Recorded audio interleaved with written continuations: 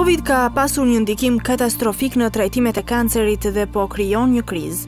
Paralajmërimi ka ardhur nga organizata botërore e shëndetësisë, pasi miliona njerëz në të gjithë Europën ju vonua skanimi apo trajtimi për shkak të bllokimeve dhe izolimeve për parandalimin e Covid. Si rezultat shumë prej pacientëve me kancer e nisën trajtimin me vonesë, kur sëmundja e tyre ishte më e përparuar dhe më e vështirë për t'u trajtuar, që do të thotë se ka më shumë persona që kanë humbur jetën apo do të vdesin prej tij, ose do të mbeten me aftësi të kufizuara. Dr. Hans Klug, drejtori rajonali i OBSH-s për Evropën, tha: Për shkak të kufizimeve të udhëtimit dhe tendosjes së sistemeve shëndetësore në luftën kundër COVID-19, shërbimet e kancerit janë ndërprerë në të gjithë rajonin, duke vonuar ndjeshëm diagnozën dhe trajtimin, duke ndikuar drejt për drejt në shanset për një kurim ose mbijetesë për qindra mijëra pacientë me kancer.